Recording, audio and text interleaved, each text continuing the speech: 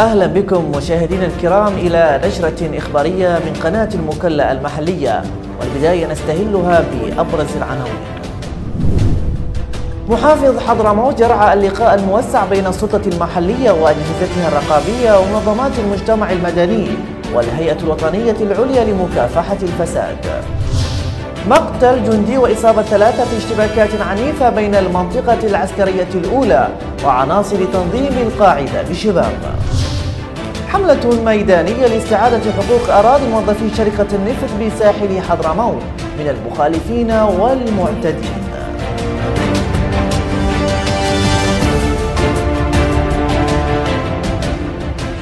أهلا بكم. وجه محافظ محافظة حضرموت قائد المنطقة العسكرية الثانية اللواء ركن فرج سالمين البحسني وزارة المالية بالمحافظة بصرف مستحقات المعلمين والمعلمات في القطاع التربوي والتعليمي في ساحل ووادي حضرموت لشهر يناير من العام الجاري.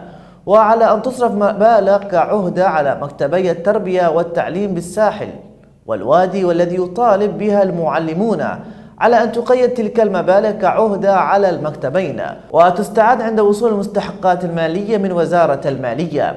وأكد المحافظ أن هذا الإجراء يأتي تقديرا لجهود المعلمين والعاملين بقطاع التربية والتعليم وعرفانا بعطاءاتهم في هذا الحقل المهم ودورهم البارز في تربية الأجيال وتعليمهم علما بأن هذه المستحقات يتم متابعتها لدى وزارة المالية. ورئاسة مجلس الوزراء لجميع موظفي وزارة التربية والتعليم إلا أن المحافظ البحسني استثنى المعلمين في حضرموت تقديرا لمكانة المعلم. وكان المحافظ البحسني وجه نهاية العام الماضي بصرف استحقاق مالي لشهر واحد للمعلمين تقديرا لمكانة المعلم. رعى محافظ محافظة حضرموت قائد المنطقة العسكرية الثانية لواء الركن فرج سالمين البحسني. صباح اليوم اللقاء الموسع مع السلطة المحلية والأجهزة الرقابية والمجتمع المدني الذي أقيم بالمكلا والذي نظمته الهيئة الوطنية العليا لمكافحة الفساد بالتنسيق مع السلطة المحلية بالمحافظة. وفي اللقاء الذي أقيم تحت شعار متحدون لمكافحة الفساد ألقى محافظ حضرموت كلمة أشار فيها إلى أن هذا اللقاء يعد حدثا مهما في المحافظة ومؤكدا بأن حضرموت التي هزمت الإرهاب قادرة على هزيمة الفساد ودك أوكاره ومحاربة الممارسين له. وأن أي تأخر في محاربته ستكون نتائجه سلبية على مسيرة البناء والتنمية وسير عملية الاستثمار وجلب رؤوس الأعمال إلى المحافظة. كما ألقيت خلال اللقاء كلمة من قبل رئيس الهيئة الوطنية العليا لمكافحة الفساد القاضي أفراح بادويلات أوضحت فيها بأن هذا اللقاء يأتي تزامنا مع افتتاح أول فرع للهيئة منذ تأسيسها بمحافظة حضرموت لكونها كانت النموذج الأمثل في إعادة الاعتبار لمؤسسات الدولة ودعم جاهزيتها لأداء مهامها في ظرف استثنائي يمر به الوطن. وتم خلال اللقاء استعراض ورقة عمل للتعريف بمهام واختصاصات الهيئة الوطنية العليا لمكافحة الفساد. أشاد محافظ محافظة حضرموت قائد المنطقة العسكرية الثانية لواء ركن فرج سالمين البحسني خلال زيارته لنقطة الصلب شمال مدينة المكلا باليقظة الأمنية العالية للجنود المرابطين بها. وما يقومون به من ضبط العديد من الممنوعات ومنع دخول الأسلحة وسط المدينة. وقال المحافظ أن الانضباط والعمل الدؤوب والمسؤولية التي يستشعرها جنود نقطة الصلب وحسمهم الأمني حققت نجاحا دفع بهم إلى الأمام. ووجه محافظ حضرموت بصرف مكافأة مالية لكافة أفراد النقطة تقديرا لجهودهم القيمة. هذا ويذكر أن نقطة الصلب تعتبر البوابة الشمالية لعاصمة حضرموت مدينة المكلا وحققت مؤخرا إنجازات أمنية في ضبط الممنوعات. وفي سياق منفصل أشاد المحافظ البحسني بمستوى الإنجاز في بناء جسر المعابر بمنطقة المعابر بمديرية حجر غربي مدينة المكلا. وقال محافظ حضرموت أن العمل يجري على قدم وساق في إنجاز الجسر وأنه يتابع شخصيا إنجاز هذا المشروع الحيوي لأبناء مديرية حجر مثمنا الجهود التي تبذلها قيادة السلطة المحلية بالمديرية بقيادة مديرها العام المحامي أنور الشاذلي ومجموعة العمودي اليمنية للمقاولات وكافة العاملين والمساهمين في إنجاز هذا المشروع الحيوي المهم. الذي سينهي معاناة أبناء مديرية حجر والمديريات المجاورة لها. أثناء مواسم هطول الأمطار وتدفق السيولة وأشار المحافظ إلى أنه من المتوقع الانتهاء من الأعمال الإنشائية. وفتح الجسر أمام مركبات المواطنين خلال الأشهر القليلة القادمة. اطلع محافظ محافظة حضرموت قائد المنطقة العسكرية الثانية اللواء ركن فرج سالمين البحثني على سير الدورة التأهيلية الأولى لإعلاميي المنطقة العسكرية الثانية بمدينة المكلا. وحث محافظ حضرموت مشرف الدورة والمتدربين على الاستفادة القصوى من الدورة التأهيلية بما يخدم القدرة على مواجهة الأفكار المنحرفة والمضللة. مضيفا أن أعداء الوطن كثيرون ويعملون ليل نهار في نشر الإشاعات والأكاذيب بهدف إقلاق السكينة العامة التي تنعم بها مدن ساحل حضرموت مشددا على التحلي بالصدق ودحض الأخبار المفبركة ومساندة قوات المنطقة العسكرية الثانية في أداء مهامها. دشن وكيل وزارة التربية والتعليم مدير مكتب الوزارة بساحل حضرموت الأستاذ جمال سالم عبدون المرحلة التدريبية الرابعة للمعلمين والمعلمات المتعاقدين بمدارس ومجمعات ورياض أطفال مديريات المحافظة كافة. وخلال جولته التفقدية لسير أعمال الدورة التدريبية بمجمعي بلقيس وفوة للبنات بمديرية مدينة المكلا أكد الوكيل عبدون على أهمية هذه الدورة النوعية التي تأتي تتويجا للمراحل الثلاثة السابقة وتموس الأنشطة التدريبية لجميع المقررات الدراسية وتستهدف أكثر من خمسة آلاف متعاقد ومتعاقدة يقوم بتدريبهم 400 مدرب يتلقون خلال الفترة من السادس والعشرين من يناير الجاري وحتى الحادي والثلاثين منه وتحتضنهم 400 قاعة تدريبية بمديريات المحافظة ويشرف عليها ميدانيا 45 مشرفا. وفي ختام جولته التفقدية أشاد الوكيل عبدون بانتظام والتزام والحرص على الاستفادة من الأيام التدريبية وما لمسه من أداء تطبيقي لبعض المعلمين والمعلمات المتعاقدين الذين قدموا الذين قدموا نماذج من الحصص الدراسية بعد تلقيهم لهذه المراحل التدريبية المهمة والنوعية المتطورة. أكدت مصادر محلية عن مقتل جندي تابع لأمن شباب وإصابة ثلاثة أشخاص من الأمن وتنظيم القاعدة. إثر اندلاع اشتباكات عنيفة صباح اليوم بين القوات المنطقة العسكرية الأولى ومسلحين تابعين لتنظيم القاعدة في مديرية شبامة وقالت المصادر أن الاشتباكات تزامنت مع انفجار لقم قامت بزراعته عناصر القاعدة في الطريق العام لمديرية شباب الرابط لعدد من مديريات الوادي. وأضافت المصادر بأن عناصر القاعدة رفعت عدد من الأعلام السوداء في وسط الطريق العام بسدة شبامة وتشهد مديريات وادي وصحراء حضرموت انفلات أمني تعرضت خلاله للعديد من القتل والعمليات الإرهابية.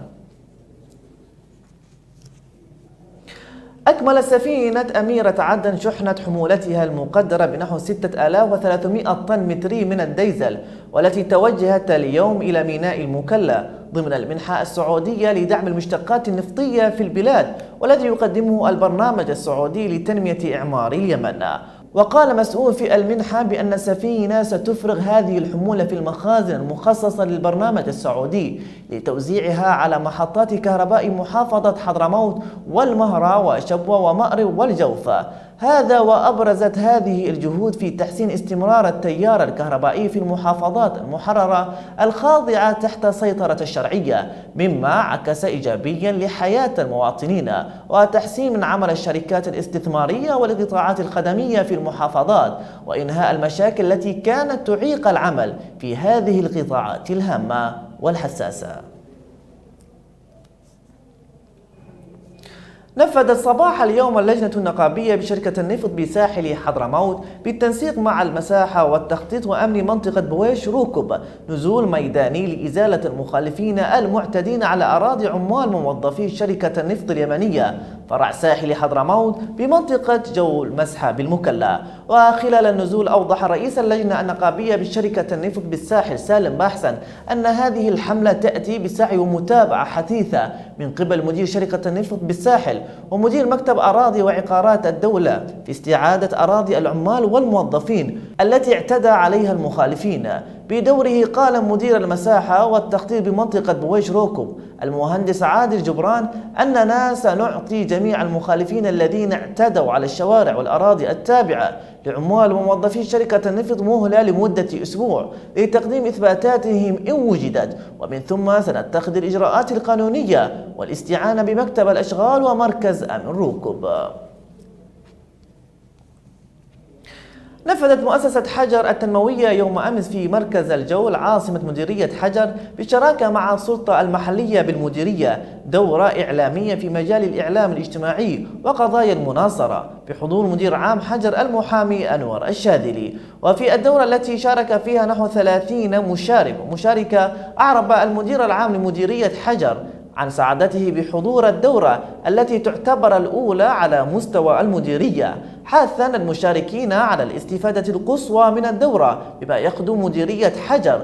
وتعرف المشاركون في الدورة عن الإعلام الجديد وكيفية استخدامه في المجال التطوعي والاجتماعي. وكذا لمحة عامة عن أبرز قضايا المناصرة وصحافة المواطن.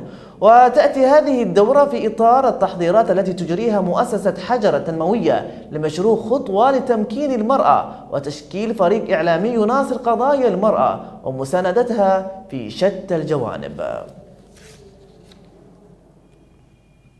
نظم قضاة محاكم ونيابات وادي وصحراء حضرموت اليوم وقفة احتجاجية بساحة المجمع القضائي بسيئون بناء على دعوة نادي قضاة الجنوب والتي تتزامن معها وقفات احتجاجية في العديد من المحافظات المحررة والتي تطالب مجلس القضاء الأعلى بسرعة إصدار واعتماد الترقيات والتسويات التي أقرها مجلس القضاء في شهر مارس من العام الماضي.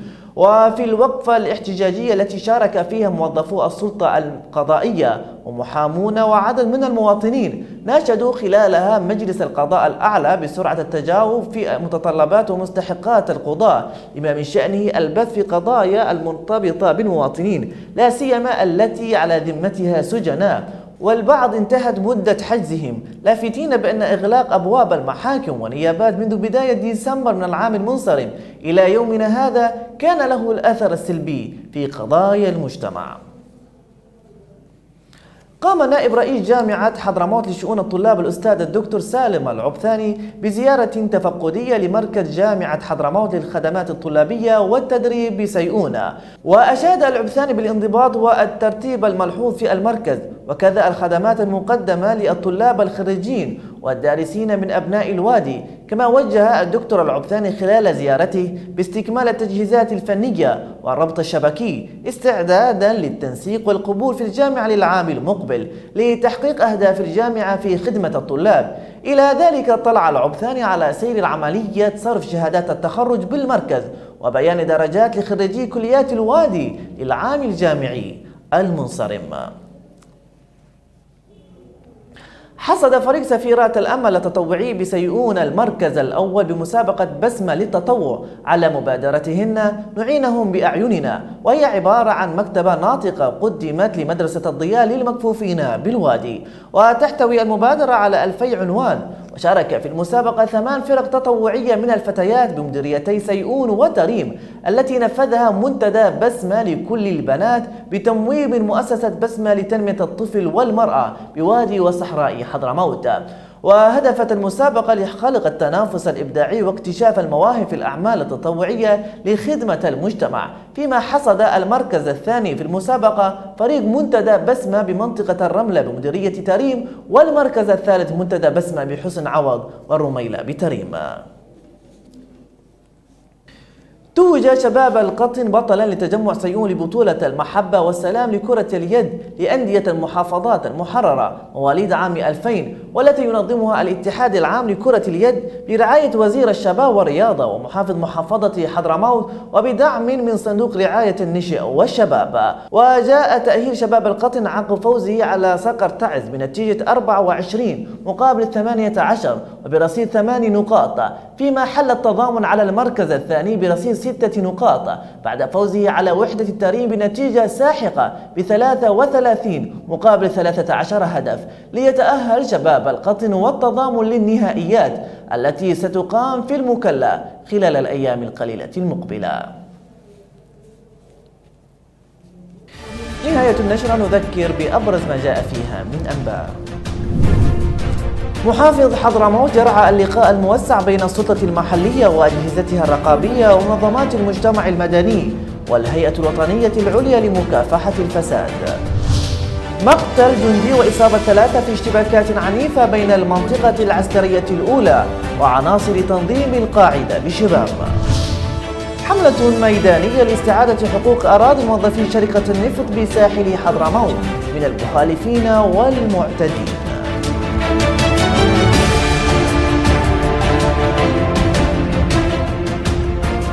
السيدات والسادة قدمنا لكم هذه النشرة الإخبارية من قناة المكلا المحلية. إلى اللقاء.